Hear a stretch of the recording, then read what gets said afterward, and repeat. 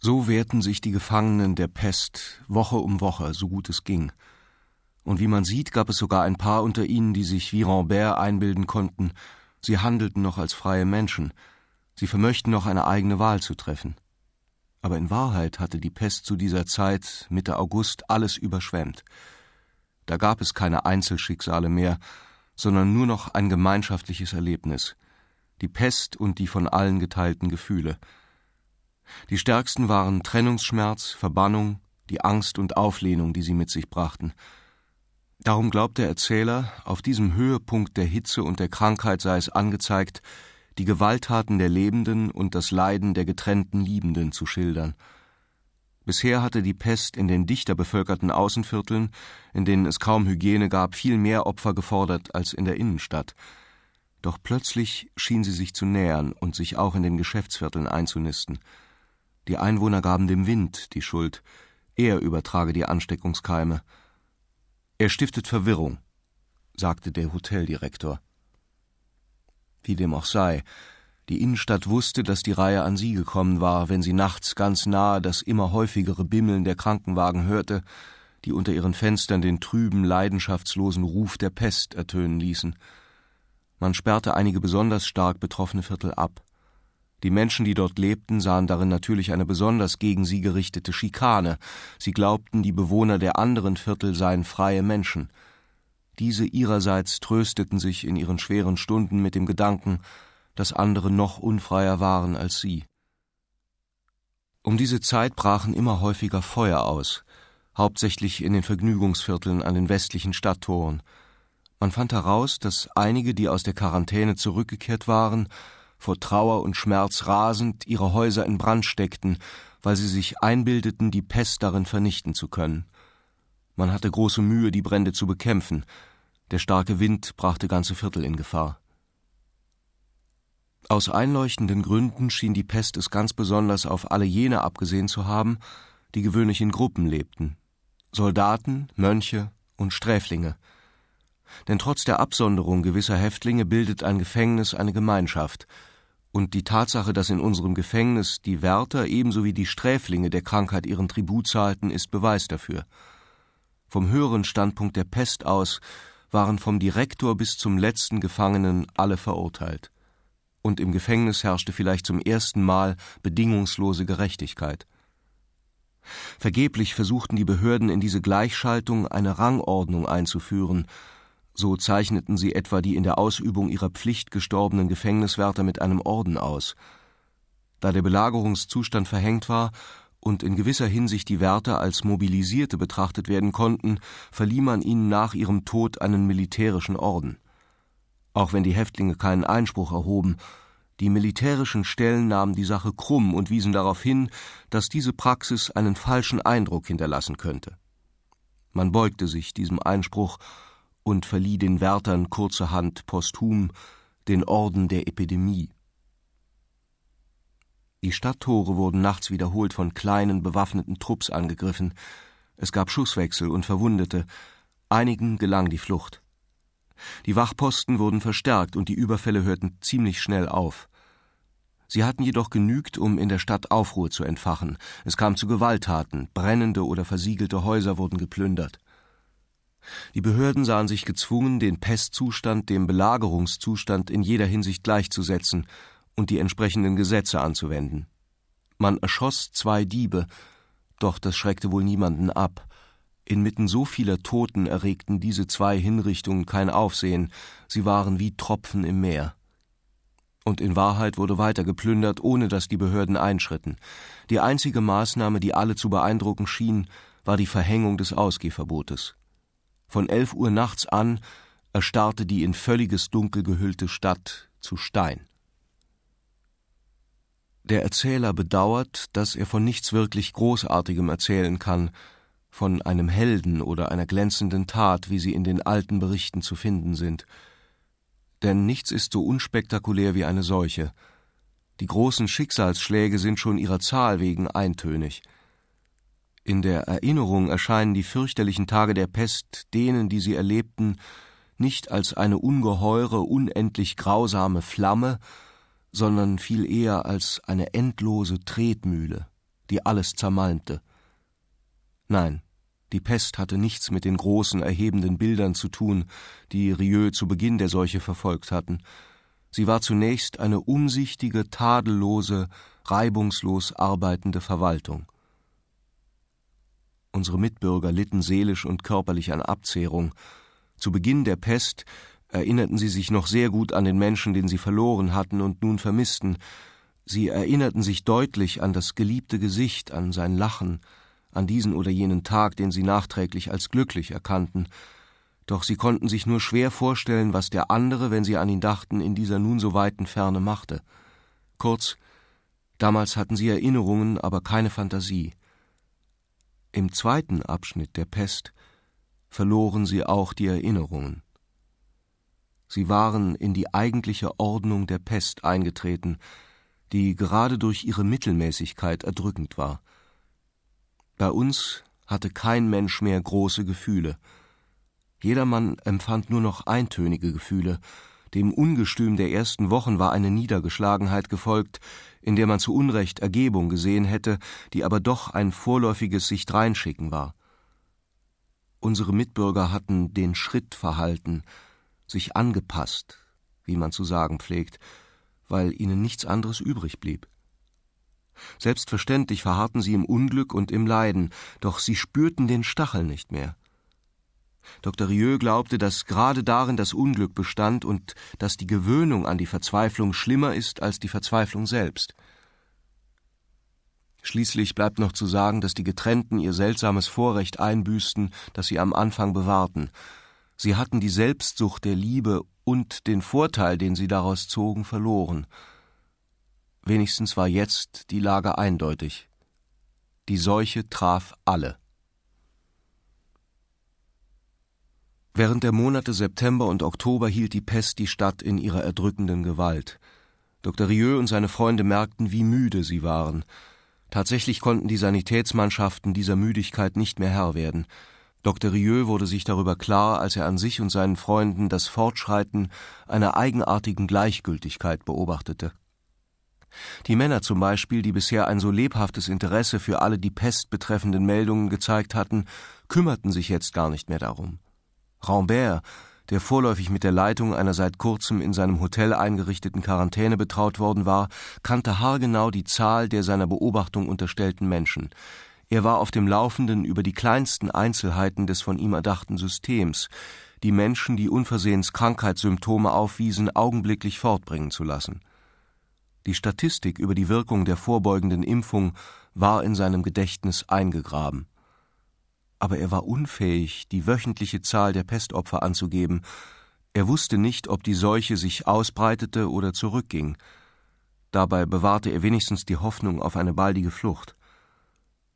Was die übrigen betrifft, die Tag und Nacht ganz von ihrer Arbeit in Anspruch genommen wurden, so lasen sie keine Zeitung, hörten kein Radio. Wurde ihnen ein Ergebnis mitgeteilt, taten sie, als interessierten sie sich dafür, nahmen es aber in Wirklichkeit mit jener zerstreuten Gleichgültigkeit auf, die man bei den Soldaten der großen Kriege zu finden erwartet, die, abgekämpft und erschöpft, sich nur noch bemühen, in ihren täglichen Pflichten nicht zu versagen, ohne auf den entscheidenden Schlag oder einen Waffenstillstand zu hoffen. Grand, der weiterhin die Zahlen der Pest addierte, wäre sicherlich unfähig gewesen, zusammenfassende Ergebnisse zu nennen. Er war nie sehr gesund gewesen, im Gegensatz zu Tarou, Rambert und Rieu, die offenkundig gegen Ermüdung abgehärtet waren. In einem Gespräch mit ihm ertappte sich Rieu eines Tages dabei, dass er von seiner Frau erzählte. Ganz selbstverständlich, was ihm bisher noch nie vorgekommen war. Er wusste nicht, ob er den immer beruhigenden Telegrammen seiner Frau Glauben schenken durfte, Deshalb hatte er sich entschlossen, dem Chefarzt der Heilanstalt zu kabeln, in der sie sich aufhielt. Ihm wurde mitgeteilt, dass sich der Zustand der Kranken verschlechtert habe und versichert, dass alles getan werde, um die Ausbreitung des Übels einzudämmen. Rieu hatte nicht viele Illusionen, und die letzten, die ihm noch blieben, raubte ihm die Erschöpfung. Denn er wusste, dass seine Aufgabe auf unabsehbare Zeit nicht mehr darin bestand, zu heilen, seine Aufgabe war es, Diagnosen zu stellen. Aufdecken, sehen, beschreiben, eintragen, dann verurteilen, Das war seine Aufgabe. Frauen packten seine Handgelenke und weinten Herr Doktor, retten Sie ihm das Leben. Doch er war nicht da, Leben zu retten. Er war da, um Absonderungen anzuordnen. Was half der Hass, den er dann auf den Gesichtern las? Sie haben kein Herz, wurde ihm eines Tages gesagt. Aber doch, er hatte eines. Es half ihm, die zwanzig Stunden am Tag zu ertragen, während derer er Menschen sterben sah, die zum Leben geschaffen waren. Es half ihm, jeden Tag wieder anzufangen. Für die Zukunft hatte er dafür gerade noch Herz genug. Wie hätte dieses Herz dazu ausreichen sollen, Leben zu retten? Nein, das war nicht Hilfe, was er Tag ein, Tag aus erteilte, sondern Auskunft. Das konnte man selbstverständlich nicht den Beruf eines Menschen nennen, aber wer aus dieser schreckerfüllten, dezimierten Menge hatte schließlich noch die Freiheit, seinen Menschenberuf auszuüben? Rieu konnte froh sein, dass er so erschöpft war. Wäre er frischer gewesen, so hätte dieser alles durchdringende Todesgeruch ihn womöglich noch sentimental werden lassen. Während der letzten Septembertage kam Rambert zu ihm und sagte Herr Doktor, ich gehe nicht weg. Ich will bei Ihnen bleiben. Und Ihre Frau? Rambert erklärte, er habe lange nachgedacht, er habe seine Meinung nicht geändert, doch wenn er fortginge, müsste er sich schämen. Und das würde seine Liebe für die Wartende beeinträchtigen. Rieu entgegnete, das sei Blödsinn, man brauche sich nicht zu schämen, wenn man das Glück dem Unglück vorziehe. Aber man kann sich schämen, als einziger glücklich zu sein.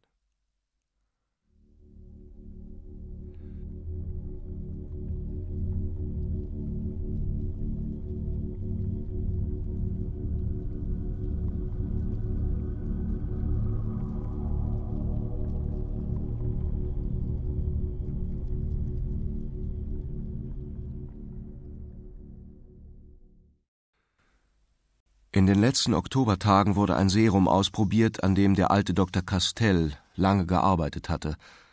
Es war Rieus letzte Hoffnung. Der Arzt war überzeugt, dass im Falle eines Misserfolgs die Stadt den Launen der Krankheit ausgeliefert sein würde. Die Seuche könnte noch monatelang fortwüten oder grundlos abklingen. Am Vorabend des Tages, da Castell Rieu aufsuchte, war Herrn Autons Sohn krank geworden und die ganze Familie hatte sich in Quarantäne begeben müssen. Die Mutter, die eben erst entlassen worden war, wurde also zum zweiten Mal abgesondert. Sobald der Richter auf dem Körper des Kindes die Krankheitsmerkmale entdeckte, hatte er vorschriftsgemäß Dr. Rieu holen lassen. Als Rieu eintraf, standen Vater und Mutter zu Füßen des Bettes. Der Junge war benommen und ließ sich klaglos untersuchen. Als der Doktor den Kopf hob, begegnete er dem Blick des Richters und hinter ihm dem bleichen Gesicht der Mutter, die ein Taschentuch vor den Mund gedrückt hielt und den Bewegungen des Arztes mit weit geöffneten Augen folgte. Nicht wahr, es ist die Pest? fragte der Richter kalt. Ja, antwortete Rieu und betrachtete wieder das Kind. Die Augen der Mutter wurden noch größer, doch sie sagte noch immer nichts. Auch der Richter schwieg, dann sagte er leise Also, Herr Doktor, wir müssen tun, was vorgeschrieben ist. Rieu vermied es, die Mutter anzusehen, die noch immer das Taschentuch auf den Mund presste. Das ist schnell erledigt, wenn ich telefonieren darf. Es tut mir entsetzlich leid.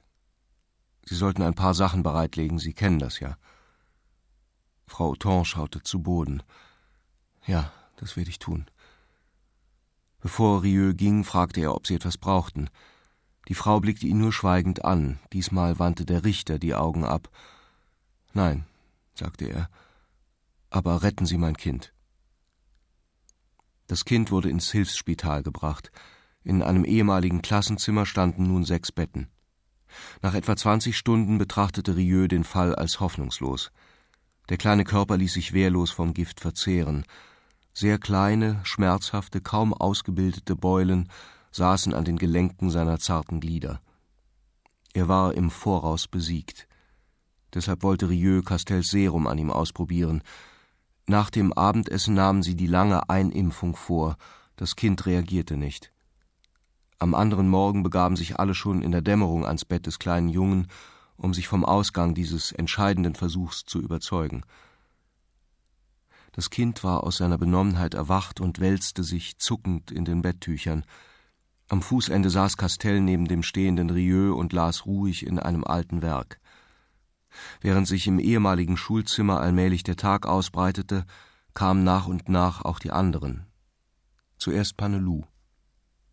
Als es endlich so hell war, dass man auf der Wandtafel am anderen Ende des Zimmers Spuren alter Gleichungsformeln erkennen konnte, traf Rambert ein. Er lehnte sich an das Fußende des nächsten Bettes und zog ein Päckchen Zigaretten hervor. Aber nach einem Blick auf das Kind steckte er es wieder in seine Tasche. Castell schaute Rieu über seine Brille hinweg an. Haben Sie Nachricht vom Vater? Nein. Er ist in Quarantäne. Der Arzt umklammerte mit aller Kraft die Querstange des Bettes, in dem das Kind stöhnte. Er wandte keinen Blick von dem kleinen Kranken, der machte sich plötzlich steif, biss die Zähne aufeinander und bog sich leicht in der Hüfte, während er langsam Arme und Beine ausbreitete. Von dem kleinen Körper, der nackt unter der schweren Decke lag, stieg ein Geruch nach Wolle und saurem Schweiß auf. Das Kind entspannte sich ein wenig, zog Arme und Beine wieder zurück und schien schneller zu atmen, blieb aber immer noch blind und stumm. Später krümmte es sich mit einem Stöhnen wieder zusammen, als wäre es in den Magen gebissen worden. Lange blieb es so gekrümmt, von Schauern und krampfartigem Zittern geschüttelt, als würde sein zarter Leib von dem wütenden Pestwind geknickt und unter dem feurigen Atem des Fiebers zerbrochen. Als der Sturm vorüber war, entspannte es sich ein wenig, das Fieber schien sich zurückzuziehen und es schwer atmend auf einem feuchten und vergifteten Ufer liegen zu lassen, wo die Ruhe schon dem Tod glich. Als die glühende Flut das Kind zum dritten Mal erreichte und es ein wenig emporhob, kauerte es sich zusammen, kroch voll Entsetzen vor der sengenden Flamme tiefer ins Bett, bewegte den Kopf wie irrsinnig und warf die Decke von sich. Dicke Tränen drangen unter den entzündeten Lidern hervor und rollten über das bleifarbene Gesicht. Als der Anfall vorüber war, nahm das erschöpfte Kind mit seinen verkrampften, knochigen Armen und Beinen, die in knapp 48 Stunden völlig abgemagert waren, im zerwühlten Bett die groteske Stellung eines Gekreuzigten ein. Seit einer Weile las Castell nicht mehr, sondern betrachtete den Kranken. Die morgendliche Besserung ist nicht eingetreten, nicht wahr, Rieu? Rieu verneinte, jedoch halte das Kind schon länger durch als die anderen. Da sagte Panelou, der ein wenig zusammengesunken an der Wand lehnte, wenn er sterben muss, wird er länger gelitten haben. Alle warteten. Das Kind hielt die Augen noch immer geschlossen und schien sich ein wenig zu beruhigen. Die Hände krallten sich in die Decke, sie wanderten höher, kratzten in der Kniegegend, und plötzlich bog das Kind die Beine, zog die Schenkel an den Bauch und verharrte unbeweglich. Dann öffnete es zum ersten Mal die Augen und schaute Rieu an, der vor ihm stand. In seinem wie aus grauem Lehm geformten Gesicht öffnete sich der Mund, und fast gleichzeitig entrang sich ihm ein einziger, von der Atmung kaum veränderter, ununterbrochener Schrei, der mit einem Schlag den Saal mit einem eintönigen, schrillen Protest erfüllte, der so wenig menschlich war, dass er von allen Menschen zugleich zu kommen schien. Rieu biss die Zähne zusammen. Rambert trat neben ihn ans Bett. Panelou schaute diesen von der Krankheit beschmutzten, vom Schrei aller Zeiten erfüllten Kindermund an. Und er ließ sich auf die Knie gleiten, und alle fanden es natürlich, als sie ihn sagen hörten Mein Gott, rette dieses Kind. Das Kind schrie weiter, und ringsum wurden die Kranken unruhig, ein Patient am anderen Ende beschleunigte den Rhythmus seines Klagens, bis auch dies ein Schrei war, während die anderen immer lauter jammerten. Eine Flut von Schluchzern überschwemmte den Saal und übertönte Panelus Gebet, und Rieu, der sich an der Bettstange festhielt, schloss die Augen. Ihm war übel vor Müdigkeit und Ekel. Als er sie wieder öffnete, stand Taru neben ihm. Ich muss fort, sagte Rieux. Ich kann es nicht mehr ertragen. Doch plötzlich verstummten die übrigen Kranken. Da merkte der Arzt, dass der Schrei des Kindes schwächer geworden war, dass er immer leiser wurde und dann verklang. Castell trat auf die andere Seite des Bettes und sagte, es sei zu Ende. Mit offenem Mund ruhte das Kind inmitten der durcheinandergeworfenen Decken. Es war plötzlich klein geworden, und auf seinem Gesicht waren noch die Spuren der Tränen zu sehen. Panelu machte die Gebärde des Segnens. Dann raffte er seine Soutane zusammen und verließ den Saal durch den Mittelgang. Rieux stürmte hinaus. Panelu streckte den Arm aus, um ihn aufzuhalten, als er an ihm vorübereilte. Aber Herr Doktor, der wenigstens war unschuldig. Das wissen Sie. Damit riss Rieux sich los, lief vor Panelu hinaus und bis ans Ende des Schulhofs. Warum waren Sie so zornig auf mich? fragte eine Stimme hinter ihm. Auch ich fand diesen Anblick unerträglich. Sie haben recht, verzeihen Sie mir. Aber die Übermüdung ist eine Art Wahnsinn. Und manchmal spüre ich nur noch meine Empörung. Ich verstehe. Es ist empörend, weil es unser Maß übersteigt. Aber vielleicht sollten wir lieben, was wir nicht begreifen können. Nein, Pater, ich habe eine andere Vorstellung von der Liebe. Und ich werde mich bis in den Tod hinein weigern, die Schöpfung zu lieben, in der Kinder gemartert werden. Ach, Herr Doktor, eben habe ich erkannt, was Gnade heißt. Ich kann das nicht. Aber ich will nicht mit Ihnen streiten. Wir arbeiten miteinander für etwas, das uns jenseits von Lästerung und Gebet vereint. Das allein ist wichtig. Ja, auch Sie arbeiten für das Heil der Menschen. Das Heil der Menschen ist ein zu großes Wort für mich. Ich gehe nicht so weit. Mir geht es um Ihre Gesundheit. Herr Doktor, auf Wiedersehen. Panelus Augen glänzten, als er sich erhob. Rieux schien zu erwachen. Noch einmal, verzeihen Sie mir. Ein solcher Ausbruch wird sich nicht wiederholen. Und doch habe ich Sie nicht überzeugt. Was tut das schon? Ich hasse den Tod und das Böse, das wissen Sie ja.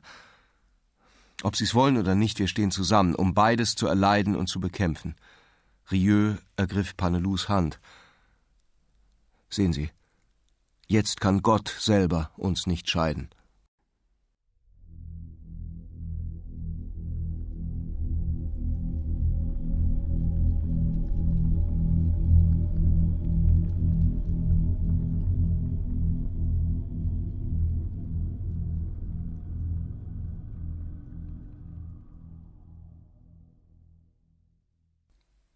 Seit Panelu in die Sanitätstruppe eingetreten war, hatte er die Spitäler und die anderen von der Pest beherrschten Orte nicht mehr verlassen.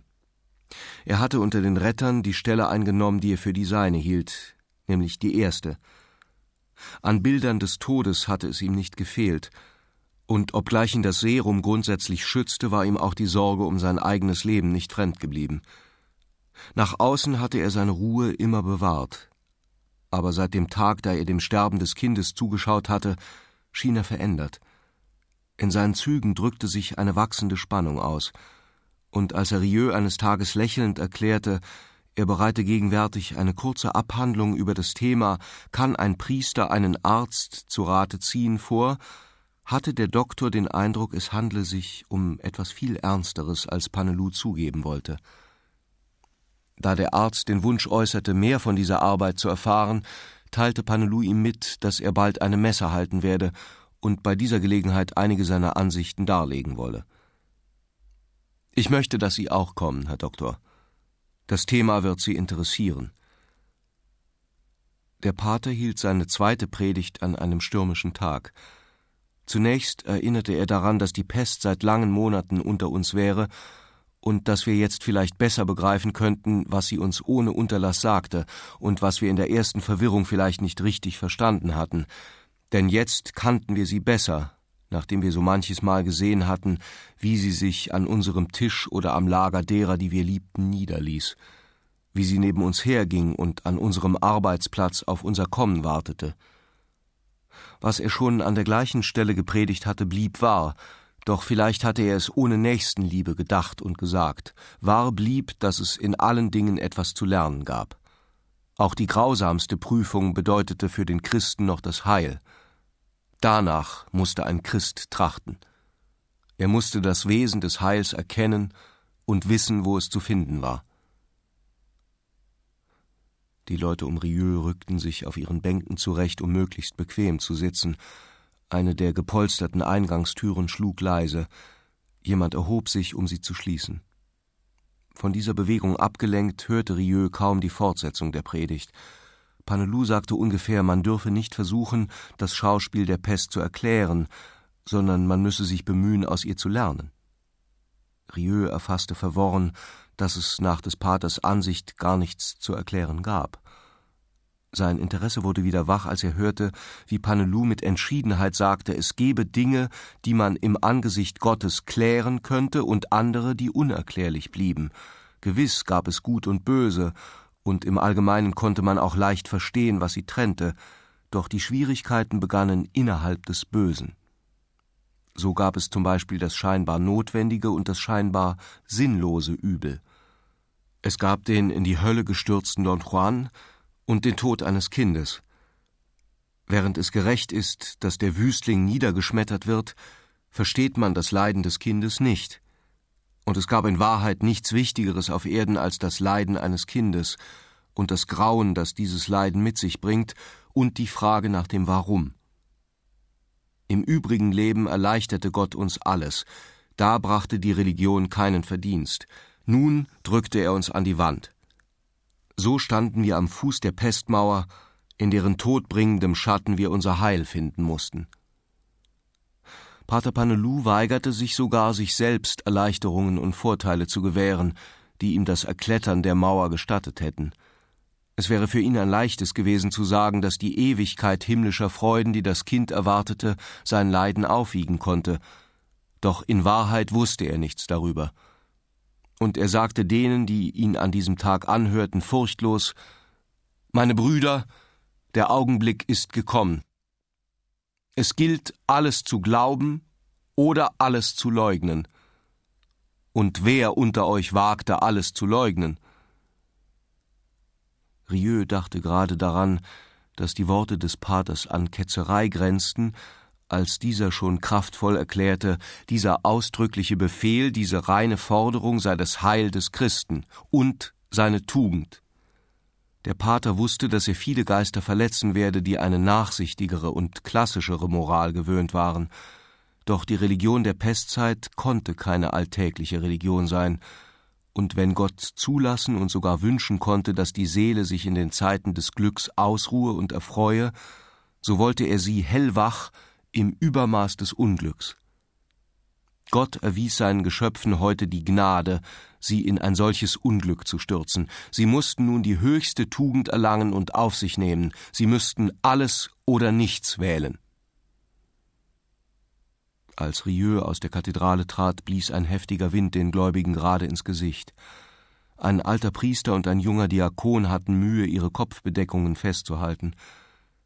Der Ältere fand, diese Predigt verrate mehr Verwirrung als Stärke, und in Panelus Alter habe ein Priester kein Recht, verwirrt zu sein. Der junge Diakon hielt den Kopf gesenkt, um sich gegen den Wind zu schützen, und versicherte, er verkehre viel mit dem Pater, er sei über dessen Arbeiten auf dem Laufenden, die Abhandlung werde noch viel gewagter sein und das Imprimatur zweifellos nicht erhalten. Welchen Gedanken verfolgt er denn? Erkundigte sich der alte Priester und meinte dann Wenn ein Priester einen Arzt zu Rate zieht, ist das ein Widerspruch. Eines Abends ging Panelou mit heftigen Kopfschmerzen zu Bett. An den Handgelenken und Schläfen fühlte er die Wallung des entfesselten Fiebers, das er seit Tagen in sich trug. Was folgte, erfuhr man später von seiner Wirtin. Am Morgen war sie wie gewohnt früh aufgestanden, Sie hatte sich gewundert, dass der Pater sein Zimmer nicht verließ und sich nach einiger Zeit sehr zögernd entschlossen, an seine Tür zu klopfen. Sie hatte ihn nach einer schlaflosen Nacht noch im Bett gefunden. Er litt an Atemnot und sein Gesicht schien stärker gerötet als sonst. Sie bot ihm an, einen Arzt zu holen, doch ihr Vorschlag wurde mit kränkender Heftigkeit abgelehnt. Daher zog sie sich zurück.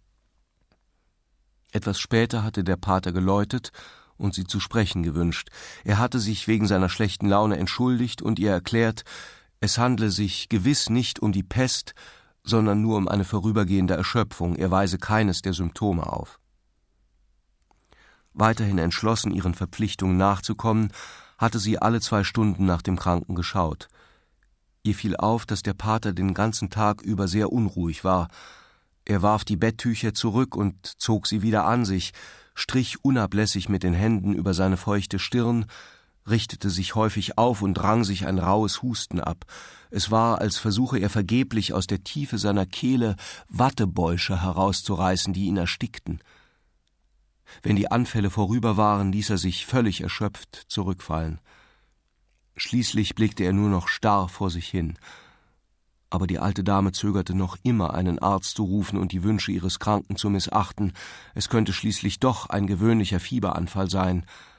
Am Abend machte sie ihm frischen Tee, dann ruhte sie sich ein wenig aus, schlief aber fest ein und erwachte erst bei Tagesanbruch. Sie eilte in sein Zimmer. Der Pater lag reglos da. Die brennende Röte vom Vorabend war einer Fahlheit gewichen, die umso auffälliger war, als die Formen des Gesichts noch voll waren. Sie fragte ihn, wie es ihm gehe, und mit einer Stimme, deren seltsam gleichgültiger Ton sie beeindruckte, sagte er, es gehe ihm schlecht, er brauche keinen Arzt und es genüge, ihn ins Spital zu bringen, damit alles in Ordnung sei. Erschreckt stürzte die alte Dame ans Telefon. Rieu traf gegen Mittag ein. Der Wirtin sagte er nur, Panelou habe recht und vermutlich sei es zu spät. Der Pater empfing ihn teilnahmslos. Rieu untersuchte ihn und war überrascht, außer der Verschleimung und Beklemmung der Lungen keines der hauptsächlichen Anzeichen der Beulen- oder Lungenpest zu finden. Doch der Puls war so schwach und der Allgemeinzustand so besorgniserregend, dass wenig Hoffnung blieb.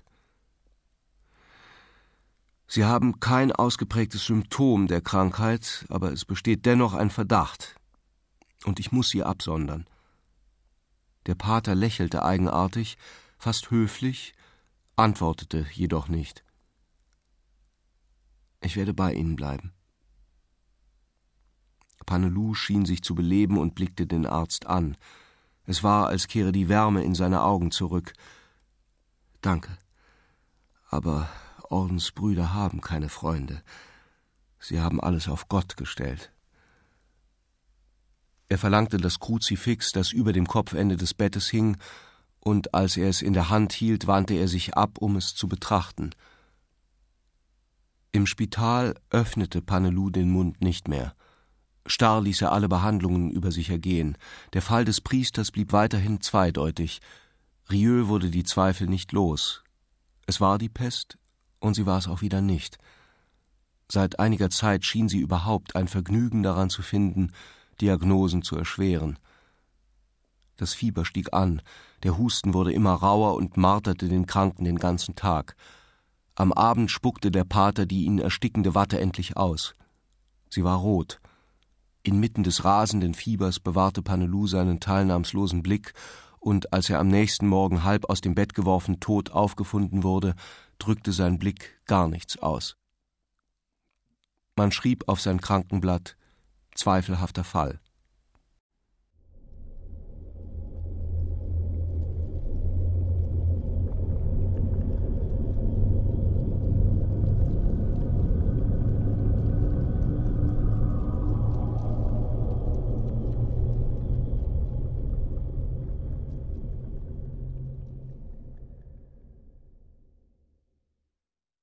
Die Pest vergaß niemanden zu lange. Während des Monats Dezember loderte sie in den Lungen unserer Mitbürger, unterhielt das Feuer im Einäscherungsofen, kurz, sie wurde nicht müde, geduldig und ruckweise vorwärts zu schreiten. Die Behörden hatten damit gerechnet, dass die Kälte diesem Fortschritt Einhalt gebieten werde, doch die Seuche ließ die ersten Tage der rauen Jahreszeit über sich ergehen, ohne von der Stelle zu weichen. Man musste abwarten. Aber wer zu lange warten muss, hört schließlich ganz auf zu warten. Unsere ganze Stadt lebte ohne Zukunft. Es war noch ein Spital eröffnet worden, und Rieu führte nur noch mit den Kranken Zwiegespräche.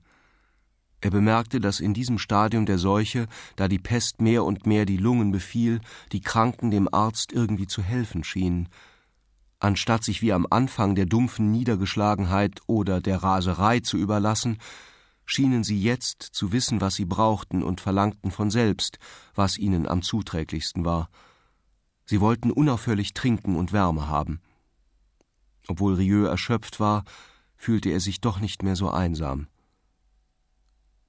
Rambert gestand dem Arzt, dass er dank der beiden Wachen, die ihm ursprünglich zur Flucht verhelfen sollten, einen geheimen Briefwechsel mit seiner Frau habe zustande bringen können. Manchmal bekam er einen Brief. Er bot auch Rieu diese Verbindung an. Zum ersten Mal seit langen Monaten schrieb der Arzt wieder, doch es fiel ihm schwer. Es gab eine Sprache, die er verlernt hatte. Der Brief ging ab, die Antwort ließ lange auf sich warten. Weihnachten war eher das Fest der Hölle als das des Evangeliums. Leere, lichtlose Geschäfte, Schokoladeattrappen und leere Konservenbüchsen in den Schaufenstern, düstere Gesichter in den Straßenbahnen. Das Fest, über das sich früher alle, arm und reich, freuten, ließ nur noch Raum für weniger einsame Festgelage, die sich ein paar bevorzugte schuldbewusst in einem schmutzigen Hinterstübchen mit Gold erkauften. Die Kirchen waren mehr von Klagen als von Dankgebeten erfüllt. In der trüben, kalten Stadt liefen ein paar Kinder umher, die noch nicht wussten, was sie bedrohte.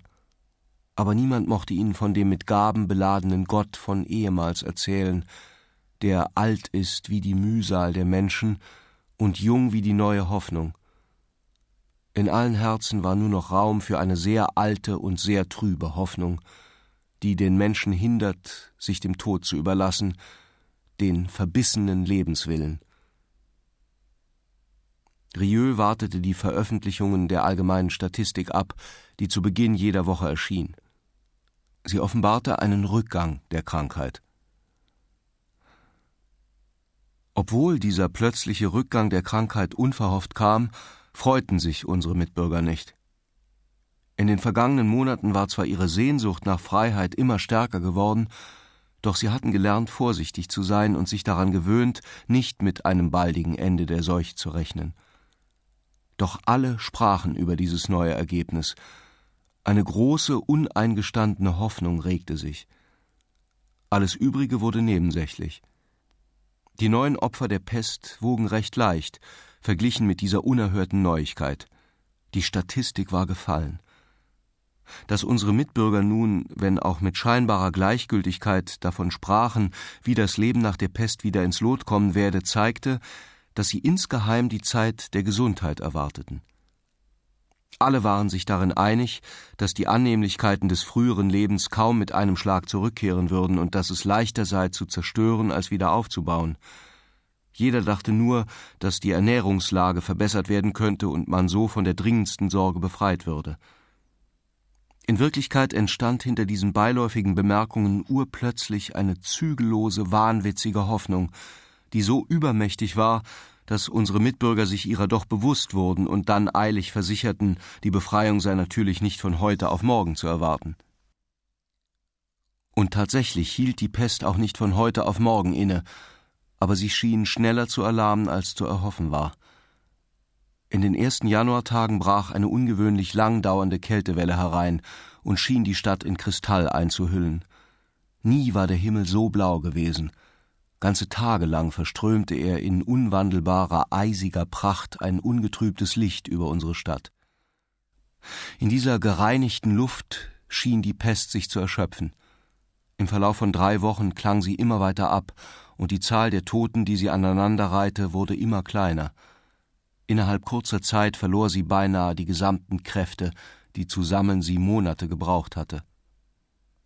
Die eigentliche Herrschaft der Pest war zu Ende, als die Bevölkerung wieder Hoffnung hegte. Bis zum 25. Januar lebten alle in geheimer Erregung. In jener Woche fiel die Statistik auf einen so tiefen Stand, dass die Präfektur nach einer Besprechung mit den Ärzten bekannt gab, die Epidemie könne als eingedämmt betrachtet werden. Die Mitteilung fügte allerdings hinzu, dass in dem Bestreben, Vorsicht walten zu lassen, was die Bevölkerung gewiss billigen werde, die Tore der Stadt noch zwei Wochen lang geschlossen bleiben und die Vorbeugungsmaßnahmen noch einen Monat beibehalten werden sollten. Alle waren sich jedoch einig, dass diese Zusätze nur als Formsache anzusehen seien, und am Abend des 25. Januar erfüllte freudig bewegtes Leben die Stadt. Um seinen Teil zum allgemeinen Jubel beizusteuern, befahl der Präfekt, die Beleuchtung der Friedenszeit wieder einzuschalten. Unter dem kalten, klaren Himmel bummelten unsere Mitbürger in lärmenden, lachenden Gruppen durch die hell erleuchteten Straßen. Gewiss, in zahlreichen Häusern blieben die Läden geschlossen, und die Familien betrachteten diese Nacht, in der andere jauchzten, schweigend. Und doch war die Erleichterung auch für viele dieser Trauernden sehr groß. Endlich mussten sie nicht mehr befürchten, andere Angehörige würden ihnen entrissen. Auch die Sorge um ihre eigene Gesundheit bedrückte sie nicht mehr.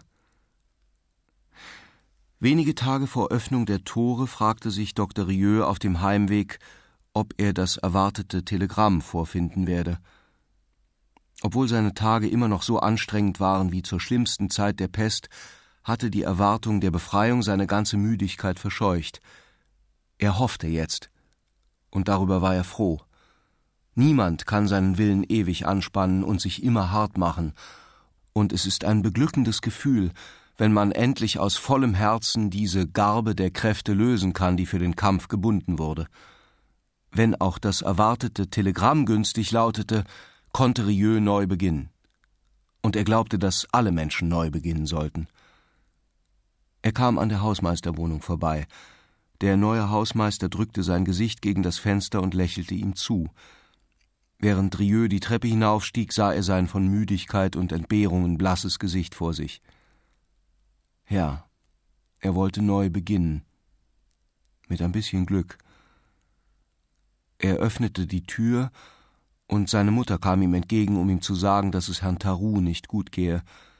Er war am Morgen aufgestanden, hatte aber nicht ausgehen können und sich eben wieder niedergelegt. Frau Rieu war in Sorge. Vielleicht ist es nichts Ernstes, sagte ihr Sohn. Tarou lag ganz ausgestreckt. Sein schwerer Kopf war im Kissen vergraben, seine starke Brust zeichnete sich unter den dicken Wolldecken ab. Er hatte Fieber. Kopfschmerzen quälten ihn. Er sagte Rieu, die Anzeichen seien zwar unbestimmt, könnten jedoch sehr wohl die Pest bedeuten.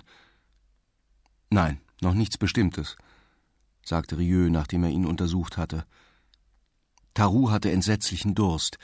Im Gang sagte der Arzt zu seiner Mutter, dass es der Anfang der Pest sein könne. Das ist doch nicht möglich, nicht jetzt. Wir wollen ihn hier behalten, Bernard. Als er zu Taru zurückkehrte, sah dieser, dass er die riesigen Ampullen mit dem Serum in Händen hielt. Ah, das ist es. Nein, nur eine Vorsichtsmaßnahme. Anstatt zu antworten, hielt Taru seinen Arm hin und ließ die endlose Einspritzung, die er selbst an anderen Kranken vorgenommen hatte, über sich ergehen. Heute Abend werden wir sehen. Und die Absonderung, Rieu? Es ist gar nicht sicher, dass Sie wirklich die Pest haben. Dies ist das erste Mal, dass ich sehe, wie Serum eingespritzt wird, ohne dass gleichzeitig Quarantäne angeordnet würde. Meine Mutter und ich werden Sie pflegen, Sie sind hier besser aufgehoben. Rieu, Sie müssen mir alles sagen. Ich verspreche es Ihnen. Danke. Ich will nicht sterben und werde kämpfen. Aber wenn das Spiel verloren ist, will ich ein guter Verlierer sein. Nein, um ein Heiliger zu werden, muss man leben. Kämpfen Sie. Im Verlauf des Tages nahm die empfindliche Kälte ein wenig ab, aber nur um am Nachmittag heftigen Regen und Hagelschauern zu weichen. Gegen Abend hellte sich der Himmel etwas auf und die Kälte wurde durchdringender. Rieu kam spät nach Hause. Ohne seinen Mantel abzulegen, betrat er das Zimmer seines Freundes. Seine Mutter strickte. Taru schien sich nicht gerührt zu haben, aber seine fiebergebleichten Lippen zeigten, welchen Kampf er ausfocht. Nun? fragte der Arzt. Ich verliere das Spiel. Der Arzt beugte sich über ihn. Unter der brennenden Haut hatten sich Knoten gebildet, seine Brust schien vom Lärm einer unsichtbaren Schmiede zu widerhallen. Die Symptome waren nicht eindeutig. Rieu richtete sich auf und sagte, das Serum habe noch nicht Zeit gehabt, seine Wirkung voll zu entfalten.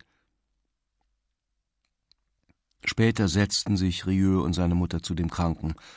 Für ihn begann die Nacht des Kampfes. Rieu wusste, dass dieses harte Ringen mit dem Pestengel bis zum Morgengrauen dauern würde. Nicht die kräftigen Schultern und die breite Brust waren Tarus beste Waffen, sondern vielmehr das Blut, das Rieu am Mittag unter seiner Nadel hatte hervorspritzen lassen, und in diesem Blut das, was noch tiefer lag als die Seele, was keine Wissenschaft ans Licht bringen konnte. Und er musste zusehen, wie sein Freund sich wehrte, Taru kämpfte regungslos und stumm. Kurz vor Morgengrauen beugte sich Rieu zu seiner Mutter. Du solltest dich niederlegen, damit du mich um acht Uhr ablösen kannst. Mach noch die Einträufelungen, ehe du schlafen gehst. Frau Rieu erhob sich, legte ihr Strickzeug beiseite und trat ans Bett. Taru hielt seine Augen schon seit einiger Zeit geschlossen, der Schweiß lockte seine Haare über der harten Stirn. Frau Rieu seufzte und der Kranke schlug die Augen auf. Er sah das weiche Gesicht über sich geneigt, und trotz der Fieberwellen erschien noch einmal das zähe Lächeln. Aber die Augen schlossen sich sogleich wieder. Der Arzt nickte ein, aber das erste Fahrzeug des dämmernden Tages riss ihn aus seinem Schlummer. Er fröstelte. Er schaute Taru an und bemerkte, dass eine Pause eingetreten war und der Kranke ebenfalls schlief. Als der Arzt wenig später ans Bett trat, blickte Taru ihn mit ausdruckslosen Augen an. Sie haben geschlafen, nicht wahr? Ja. Können Sie leichter atmen? Ein bisschen. Hat es etwas zu bedeuten? Nein, Taru, das hat nichts zu bedeuten. Sie kennen die morgendliche Besserung so gut wie ich. Danke. Sagen Sie mir immer die Wahrheit. Rieu hatte sich auf das Fußende des Bettes gesetzt. Er spürte die langen, harten Beine des Kranken neben sich, wie die Glieder einer Grabfigur. Taru atmete schwer. Das Fieber wird wiederkommen, nicht wahr, Rieu? Ja, aber um Mittag werden wir Gewissheit haben. Taru schloss die Augen und schien seine Kräfte zu sammeln. Seine Züge waren matt. Er erwartete das Steigen des Fiebers, das sich schon in seinem Innern zu regen begann. Als er die Augen öffnete, war sein Blick glanzlos. Er leuchtete erst auf, als er Rieu sah, der sich zu ihm neigte. Trinken Sie, sagte Rieu. Es dauert lange. Am Mittag erreichte das Fieber seinen Höhepunkt. Der Husten, der aus den Eingeweiden hervorzubrechen schien, erschütterte den Körper des Kranken, der nun Blut spuckte. Die Lymphknoten waren nicht weiter angeschwollen, sie waren hart wie Schrauben, die in die Gelenkhöhlen versenkt worden waren. Rieu hielt es für unmöglich, sie zu öffnen. Zwischen Fieberkrämpfen und Husten sah Taru seine Freunde manchmal noch an, aber bald öffneten seine Augen sich immer seltener und sein Gesicht wurde bleicher. Der Gewittersturm, der diesen Körper in heftigen Krämpfen schüttelte, erleuchtete ihn immer seltener mit Blitzen, und auf dem Grunde des Sturms wurde Taru langsam fortgetrieben. Am Ende waren es Tränen der Ohnmacht, die Rieu nicht sehen ließen, wie Taru sich plötzlich zur Wand drehte und mit einer dumpfen Klage sein Leben aushauchte, als sei in ihm eine unentbehrliche Seite gesprungen. Die folgende Nacht war nicht von Kampf, sondern von Schweigen geprägt, von dem Schweigen, das aus den Betten stieg, in denen Rieu Menschen hatte sterben lassen – es war überall dasselbe Innehalten, derselbe feierliche Zwischenhalt, immer dieselbe Besänftigung, die dem Kampf folgte. Es war das Schweigen der Niederlage. Doch das Schweigen, das nun seinen Freund umhüllte, war undurchdringlich, eins mit dem Schweigen der Straße und der von der Pest befreiten Stadt. Rieu fühlte deutlich, dass die Niederlage diesmal endgültig war. Es war die Niederlage, die einen Krieg beendet und den Frieden in unheilbares Leid wandelt. Der Arzt wusste nicht, ob Taru schließlich Frieden gefunden hatte. Für ihn, das glaubte er in jenen Momenten zu wissen, würde es keinen Frieden mehr geben. Draußen herrschte die kalte Nacht mit eisigen Sternen am klaren Himmel. Immer wieder wanderten seine Gedanken zu seiner Frau, immer wieder verscheuchte er sie. Er hielt mit seiner Mutter eine schweigende Totenwache. Er wusste, was seine Mutter dachte und dass sie ihn in diesem Augenblick liebte. Aber er wusste auch, dass die Liebe zu einem Menschen nicht viel bedeutet, zumindest, dass eine Liebe niemals stark genug ist, um den ihr gemäßen Ausdruck zu finden – so würden er und seine Mutter sich immer wortlos lieben. Und auch sie würde sterben, oder er, und ihr Leben lang würde es ihnen nie gelingen, ihre innige Verbundenheit besser zum Ausdruck zu bringen. Auch mit Taru war es ihm so ergangen, neben dem er gelebt hatte und der heute Abend gestorben war, ohne dass ihre Freundschaft Zeit gehabt hätte, richtig zu leben. Taru hatte, wie er sagte, das Spiel verloren. Aber er, Rieu, was hatte er gewonnen? Er kannte nun die Pest, und ihm würde die Erinnerung an sie bleiben. Er kannte die Freundschaft, und ihm würde die Erinnerung daran bleiben. Er kannte innige Verbundenheit, und auch daran würde ihm eines Tages nur noch die Erinnerung bleiben. Das Einzige, was der Mensch im Spiel der Pest und des Lebens gewinnen konnte, waren Erkenntnisse und Erinnerung. Vielleicht war es das, was Taru das Spiel gewinnen nannte. Wahrscheinlich nahm Rieu deshalb am Vormittag die Nachricht vom Tode seiner Frau mit Ruhe auf er befand sich in seinem Arbeitszimmer. Seine Mutter war herbeigeeilt, hatte ihm ein Telegramm überreicht und war dann hinausgegangen, um dem Boten ein Trinkgeld zu geben. Als sie zurückkehrte, hielt ihr Sohn das Telegramm geöffnet in der Hand. Sie schaute ihn an, doch er betrachtete starr durch das Fenster einen strahlenden Morgen, der sich über dem Hafen erhob. Bernard, das Telegramm. Ja. Vor acht Tagen. Frau Rieu wandte sich ab. Der Arzt schwieg. Dann sagte er zu seiner Mutter, sie solle nicht weinen. Er sei darauf gefasst gewesen. Es sei dennoch schwer. Sein Schmerz war frei von Überraschung. Seit vielen Monaten und seit zwei Tagen war es der stets gleiche Schmerz. Im Morgengrauen eines schönen Februartages öffneten sich endlich die Tore, bejubelt von der Bevölkerung, den Zeitungen, dem Radio und den Mitteilungen der Präfektur. Bis in den Abend hinein dauerten die Festlichkeiten. Zur gleichen Zeit begannen im Bahnhof Lokomotiven zu rauchen, während Schiffe, die von fernen Meeren kamen, bereits ihren Bug auf unseren Hafen richteten und auf ihre Weise anzeigten, dass dieser Tag für alle, die unter der Trennung gelitten hatten, der Tag der großen Wiedervereinigung war. Menschen unterschiedlichster Herkunft taten sich zusammen und tranken Brüderschaft. Die Gleichheit, die der Tod nicht verwirklichen konnte, wurde jetzt wenigstens für ein paar Stunden von der Freude über die Erlösung geschaffen. Das jedenfalls sprang Rieu ins Auge, als er am späten Nachmittag auf dem Weg in die Vorstadt inmitten des Glockengeläutes, des Kanonendonners, der Musik und des ohrenbetäubenden Geschreis allein dahinschritt. Seine Arbeit ging weiter. Für die Kranken gab es keine Pause. In das schöne, zarte Licht, das sich auf die Stadt senkte, mischten sich die alten Gerüche von Braten und Anisschnaps. Um Rieu herum hoben sich lachende Gesichter zum Himmel. Männer und Frauen mit glühenden Gesichtern klammerten sich mit der ganzen Unbeherrschtheit und dem Schrei des Verlangens aneinander. Ja, die Pest war mitsamt dem Grauen zu Ende, und die Arme, die sich umschlangen, sagten wahrlich, dass sie im tiefsten Sinne des Wortes Verbannung und Trennung gewesen war. Zum ersten Mal konnte Rieu dem vertrauten Ausdruck, den er monatelang auf den Gesichtern der Menschen gesehen hatte, einen Namen geben. Er brauchte jetzt nur um sich zu blicken.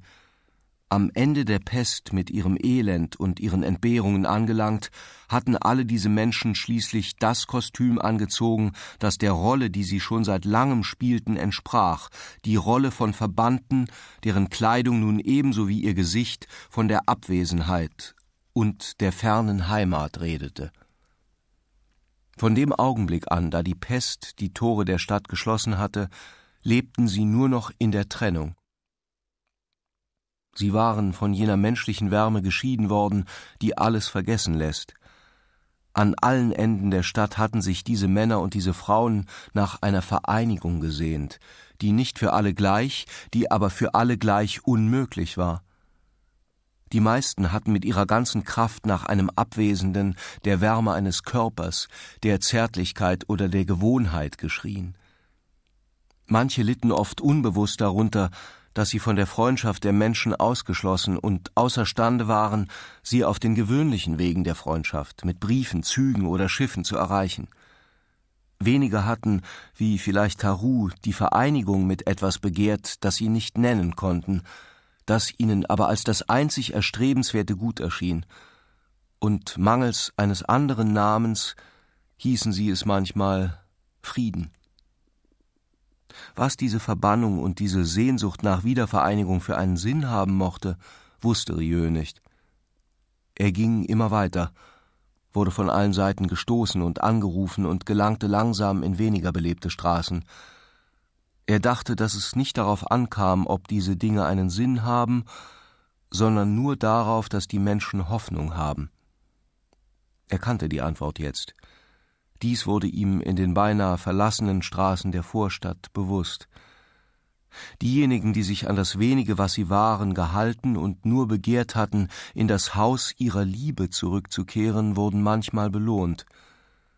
Gewiss irrten manche weiter einsam durch die Stadt, des Menschen beraubt, den sie erwartet hatten. Wie glücklich waren die, die nicht zweimal getrennt worden waren, wie jene, denen es vor der Seuche nicht gelungen war, ihre Liebe von Anfang an zu erfüllen, die sich jahrelang blind um jene Übereinstimmung bemüht hatten, die schließlich feindliche Liebende aneinander schmiedet. Die hatten sich wie Rieu selbst leichtfertig auf die Zeit verlassen. Sie waren nun für immer getrennt.